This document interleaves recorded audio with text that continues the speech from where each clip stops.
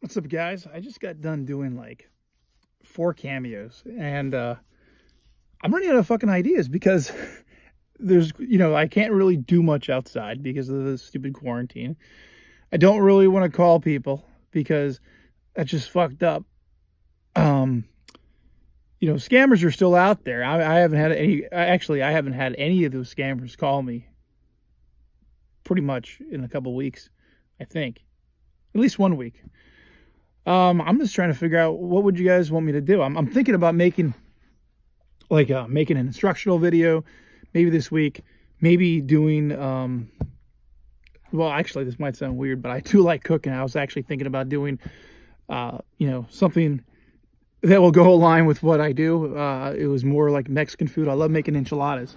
And I was thinking about actually making, I, I call them uh, bakey enchiladas because it's my last name. They're really, really good. And uh, man, do they give you gas, but they're good. So um, just let me know what you guys think. Um, I, I do have a, a few surprises in store. I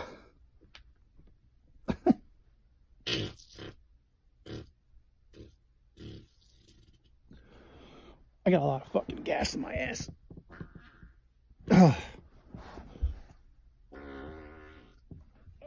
I'm all backed up.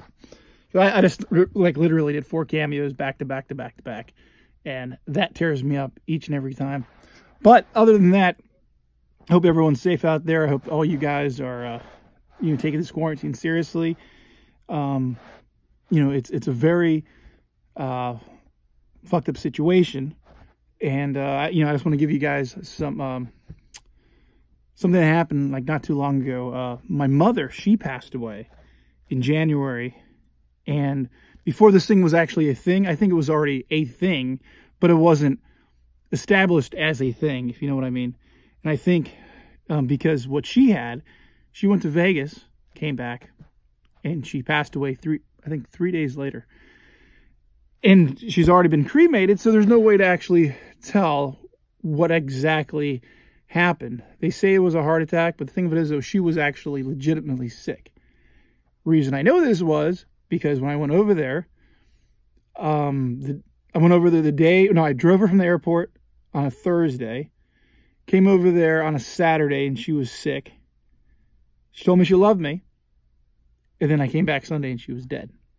And that's very unfortunate. It was very upsetting to me. Um, but I got sick.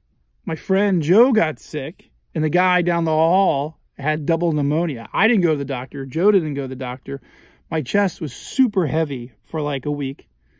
I had a periodic fever for about four or five days. It was a mess. And I really do believe this has been out there a lot longer than what they know or what they're telling us. And a lot of people, you know, they pull through this, but is again, compromised, compromised health. You know, when you have underlying issues, that's the problem.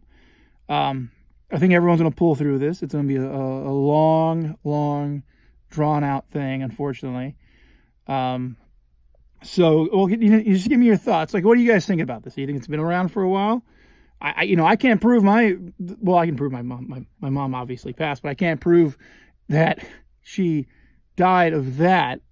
It's my assumption that's what she died of.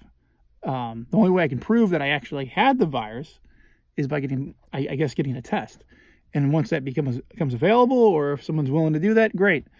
Um, but uh, I want your, your, your guys' thoughts. Do you think this has been around for a long time? Uh, when do you guys think it's going to end? You know, just give me your uh, your feedback on it. Other than that, you guys take care. You guys have a wonderful uh, day. I'm 600 uh, hours away from monetization, and again, when that happens, things are going to be a lot different on this channel. I assure you, because I have a lot of plans. I don't want to. I don't want it to be all about you know about what I do. Uh, I, I want to more make it like a, like a vlog thing and just daily life stuff. Of course, the farts will be in there, but they're going to be like, uh, well, I have to wait till we can actually do things. I have a whole bunch of things in store. But anyways, you guys take care and you have a wonderful day. All right, peace out.